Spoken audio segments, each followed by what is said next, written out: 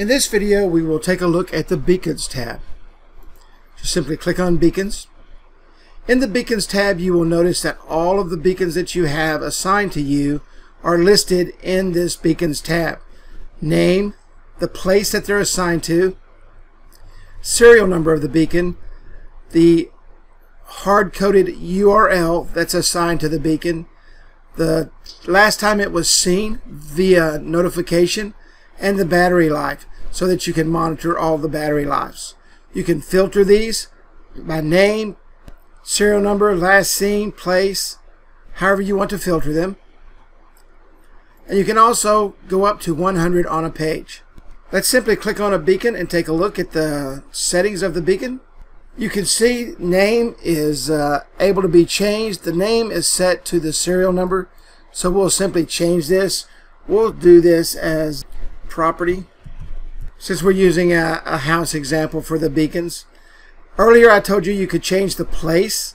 You simply drop down and you can change the place of the beacon. Maybe it's a specific address or uh, some place that you've set up. You can take a look at the hardware details themselves. The UUID, the majors, the minors, the modes, the temperature of the beacon, the battery life, advertising interval, and the transmission power. You can also take a look at the Eddystone details. The Eddystone details uh, has your URL, your namespace, and your instance, the date it was created and the date it was updated. This, once again, is the hard-coded URL so that you can change your URLs directly from the dashboard instead of having to physically go out to every single beacon.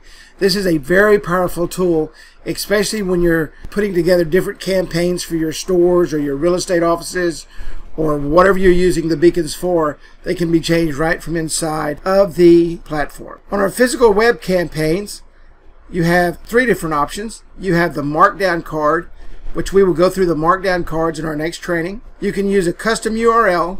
Always remember that when you use a custom URL, that the URL has to have an S, it has to be secure. Uh, you cannot use an unsecure uh, URL.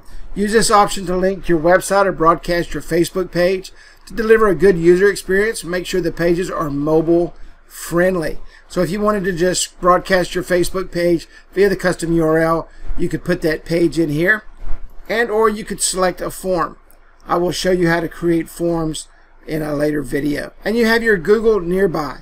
Now, one thing you need to realize is that Google Nearby only works with the Android phone. The physical web campaign works both with iPhone and Android phone. With Google Nearby notifications using the UID, you just simply put in a title, the description of the title. For example, let's put a, let's say I want to use app intent with a URL.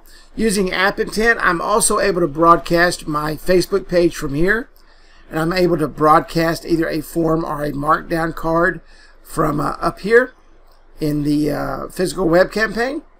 So let's set up a Facebook app intent, which will uh, broadcast my Facebook page. Click here to visit, or click here to like. Let's say click here to like. And you can actually broadcast two campaigns at the same time. With app intent, there's some code that you need to put in. This is simply FB is the intent scheme. This is the intent path. The page number is a long number. You don't use the page username. Uh, you have to use a page number. I will show you in a later video exactly how to set this up. That way you know exactly where to get your intent path. The page name of the app, com.facebook.katana. Uh, this is set. This will not change. And the fallback URL. If they don't have the Facebook app on their page, you can put a fallback URL here uh, for them to go to. You could actually put a URL uh, to your web page or something like that. And or you could put a link there for them to download an app. And that concludes our beacons tab.